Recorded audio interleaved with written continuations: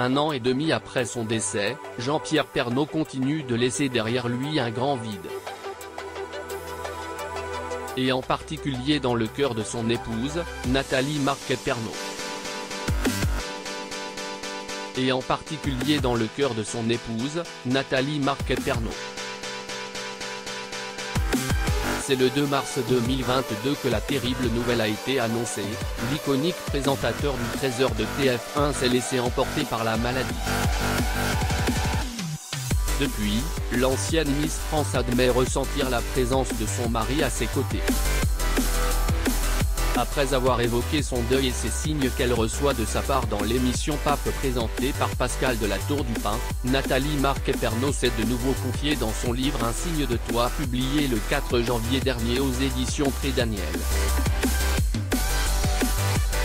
Au fil des pages, à travers la délicatesse des mots, Nathalie Marquet revient sur ce jour qui a bouleversé sa vie et celle de ses enfants, l'annonce du décès de Jean-Pierre Pernaut. En chacun, une sensation de vide, se remémore-t-elle. Un sentiment indescriptible qu'elle ne pourra jamais oublier.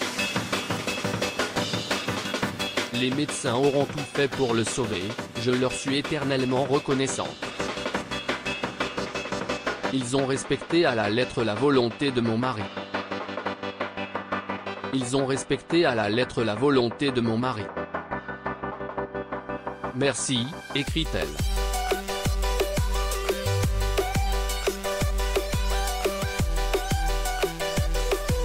La maman de Lou et Tom a encore cette image dans la tête, j'ai vu des larmes dans les yeux de certains au moment de déclarer l'heure de la mort.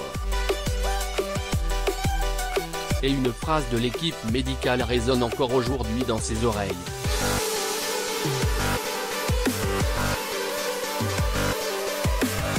Dites bien que votre époux est décédé des suites de son cancer des poumons. Mais pourquoi? Se questionne-t-elle, sans trouver de réponse. Après cette annonce douloureuse, l'épouse de Jean-Pierre Pernaut écrit sur papier les moments difficiles que sa famille a vécu. Après cette annonce douloureuse, l'épouse de Jean-Pierre Pernaut écrit sur papier les moments difficiles que sa famille a vécu. Une fois dehors, dans le froid, la grisaille, la douleur prend le dessus.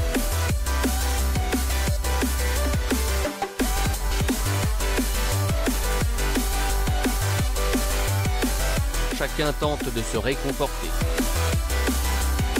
Ce moment d'intimité, où nous partageons notre désarroi, ne doit cependant pas nous faire oublier que celui que nous pleurons, d'autres aussi vont le pleurer, le public, cette autre famille que Jean-Pierre s'est créée, peut-on lire avec